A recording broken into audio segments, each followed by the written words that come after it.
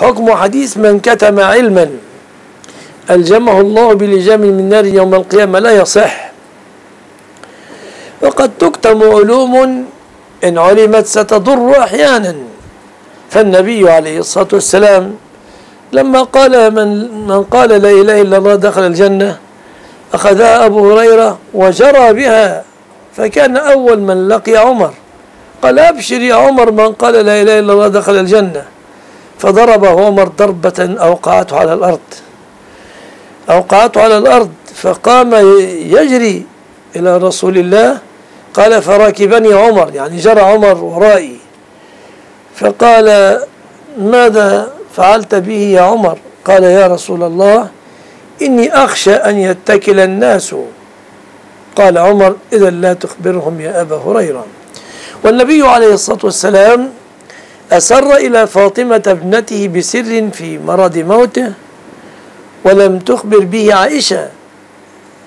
قال الرسول قالت عائشة كنا أزواج النبي جلوسا ومعنا فاطمة ابنة رسول الله صلى الله عليه وسلم ابنة رسول الله صلى الله عليه وسلم.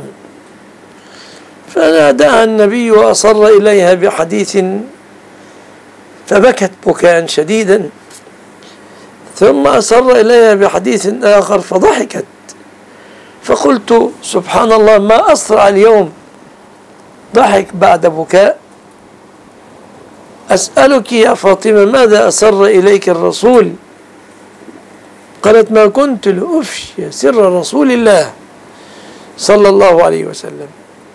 فلما مات أتيتها وقلت لها يا فاطمة أسألك بما لي عليك من الحق أن تخبريني بالذي أسر به النبي إليك. فقد مات الرسول عليه الصلاة والسلام.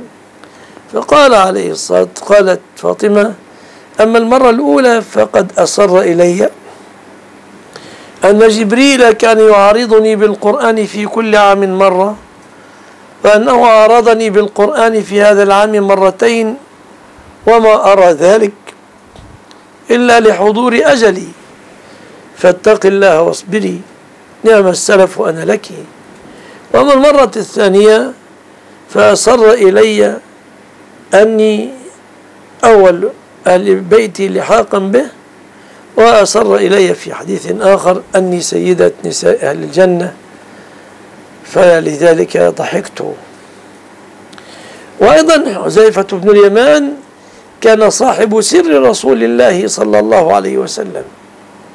فالعلم الذي ينفع يبث والذي قد يفهم خطأ يؤجل إفهام الناس به.